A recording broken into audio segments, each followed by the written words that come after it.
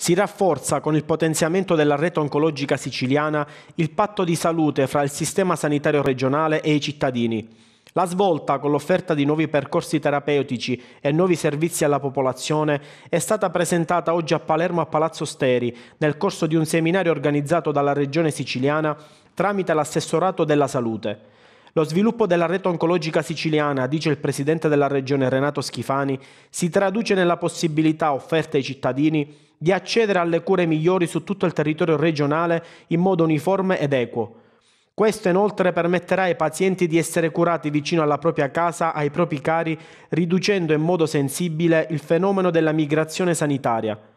In particolare, oltre ai nuovi percorsi diagnostici, terapeutici e assistenziali, l'incontro è servito per mostrare la nuova sezione del portale Costruire Salute dedicata alla rete oncologica siciliana. Il sito Costruire Salute, il portale istituzionale dell'assessorato regionale della salute della regione siciliana, ospita una sezione dedicata alla rete oncologica, una sezione ricca di contributi che attengono non soltanto all'ambito squisitamente normativo relativo ai PTDA, ma anche una sezione che eh, contiene le informazioni necessarie a tutti coloro eh, che ehm, hanno una patologia oncologica di poter essere curati eh, secondo un percorso di assistenza multidisciplinare, verticale, orizzontale, quindi un'assistenza completa di cura e trattamento eh, in Sicilia, nella nostra regione. La punta di diamante di questa eh, sezione tutta dedicata alla rete oncologica è la mappa interattiva. Grazie alla mappa interattiva interattiva, ciascun cittadino potrà individuare immediatamente, selezionando la patologia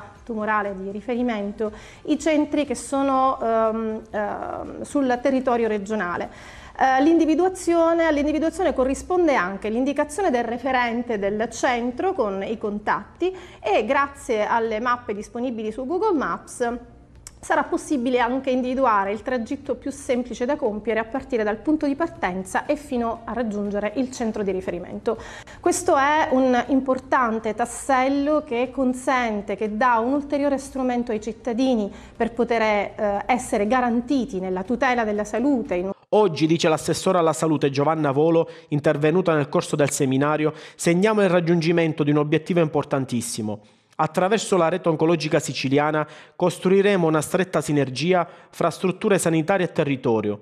La rete oncologica siciliana, aggiunge inoltre l'assessore alla famiglia Nuccia Albano, deve rispettare le linee guida nazionali, garantire gli utenti con percorsi diagnostici uguali a quelli delle regioni più avanzate evitando così il ricorso a cure fuori dall'isola che da un lato incidono sull'economia delle famiglie e dall'altro costituiscono un danno psicologico per i pazienti che devono affrontare viaggi lontani dagli affetti più cari.